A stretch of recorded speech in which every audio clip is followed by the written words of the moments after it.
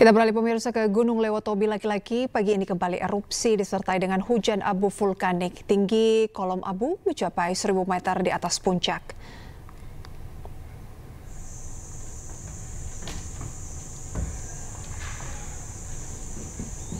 Gunung Leotobi laki-laki di Nusa Tenggara Timur kembali erupsi pada 8 November 2024 pukul 7 lebih 48 menit waktu Indonesia Tengah dengan tinggi kolom abu teramati lebih dari 100 meter di atas puncak atau kurang lebih 2.584 meter di atas permukaan laut. Kolom abu teramati berwarna kelabu dengan intensitas tebal condong ke arah barat. Erupsi ini terekam di seismogram dengan amplitudo maksimum 11 uh, mm dan durasi sementara ini kurang lebih 7 menit 57 detik. Saat ini Gunung Lewotobi laki-laki berada pada status level 4 atau awas dengan rekomendasi. Hari ini memang terjadi peningkatan erupsi yang luar biasa. Tadi malam kita mengalami dua kali erupsi uh, yang bersifat impulsif dari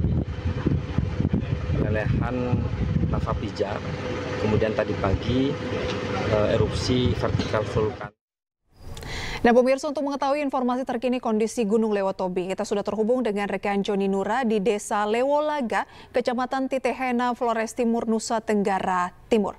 Selamat siang rekan Joni, seperti apa kondisi Gunung Lewotobi siang hari ini?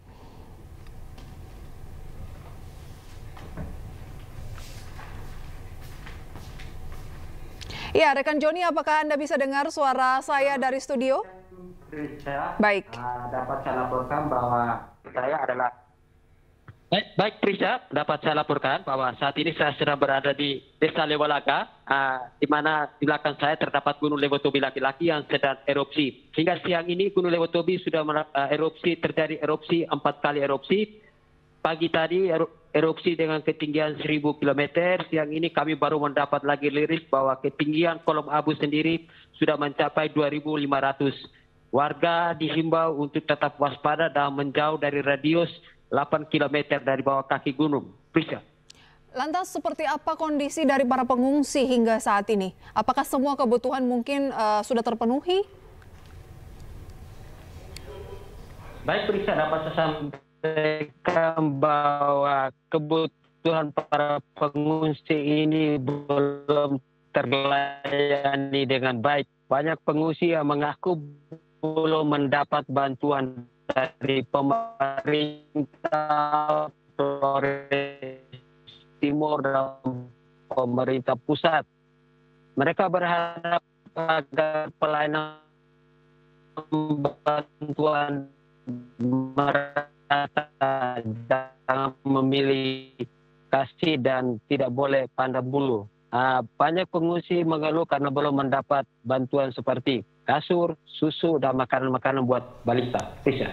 Lantas apakah Pemda setempat sudah menyiapkan relokasi? Halo, Ya, rekan Joni, apakah pemerintah setempat Dapat sudah menyiapkan relokasi? Juga bahwa saat ini status Gunung Lewotobi laki-laki berada pada status awas atau BPBD pusat datang ke Flores Timur, mereka lagi mencari tempat untuk uh,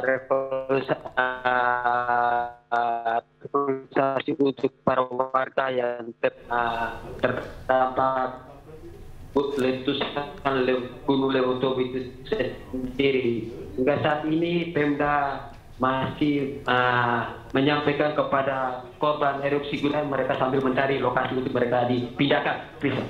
Baik, terima kasih rekan Joni atas laporan Anda. Kami akan terus mengupdate kondisi terkini dari uh, Gunung Leotobi. Laki-laki selamat bertugas kembali. Pemirsa tim SAR gabungan terus berupaya untuk mengevakuasi warga yang terjebak erupsi Gunung Lewotobi laki-laki Flores Timur NTT. Bahkan dalam kondisi mobil dipenuhi abu vulkanik, tim SAR terus membantu warga yang terjebak menuju titik pengungsian.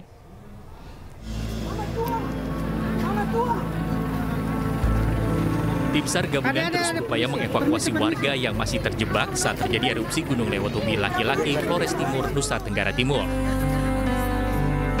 Mobil tim SAR tampak dipenuhi abu vulkanik saat menyelamatkan sejumlah warga.